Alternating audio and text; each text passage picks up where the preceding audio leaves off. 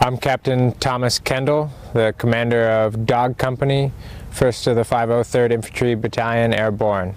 We're stationed in Vicenza, Italy. We're here in Monte Romano to conduct multiple forms of training. First off, we recently installed the CROWS system on our up-armored Humvees, and we're conducting familiarization training both day and night with the CROWS using 762. Other training that we're conducting is M4 close quarters marksmanship training.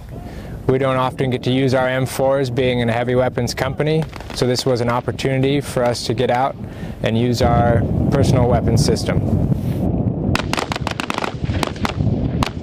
The CROWS is a turret system that can be installed on various military vehicles, which allows a gunner to utilize the weapon, the weapon system from within the vehicle. It also enables him through use of various zooms and thermal imaging to engage targets that he previously could not have seen before. We finish our training on the range. It will be time for us to conduct STX. Being a heavy weapons company, we don't often get to test our 11 Bravos on the most basic fundamentals of infantry action, which is on the ground dismounted actions. So here at Monte Romano, we had an opportunity to do platoon force on force. And what enables to do that, us to do that is the DICE system.